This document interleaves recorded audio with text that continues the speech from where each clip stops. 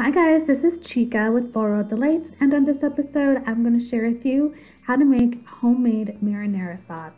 For this recipe you're going to need some diced onions, some minced garlic, dried basil, red chili flakes and salt, in addition to some oregano and one can of crushed tomatoes.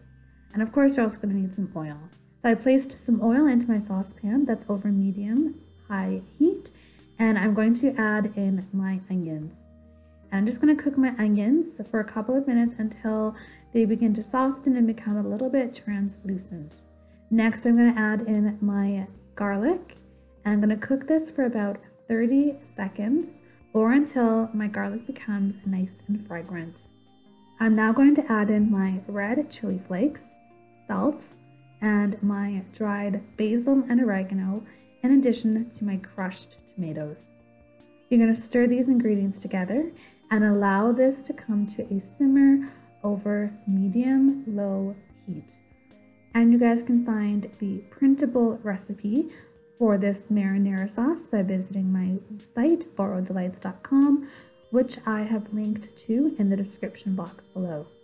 Once this comes to a simmer, you're going to continue cooking this for about 20 to 30 minutes and your marinara sauce is done.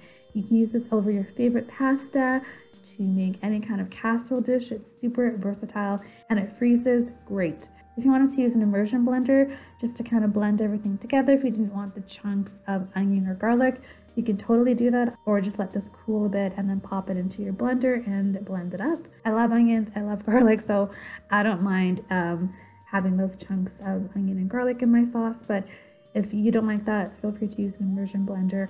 So I really hope that you guys enjoy this recipe. Please be sure to leave your comments below and share this recipe video on your social media network. Until next time, thanks so much for watching guys and I'll see you in the next video.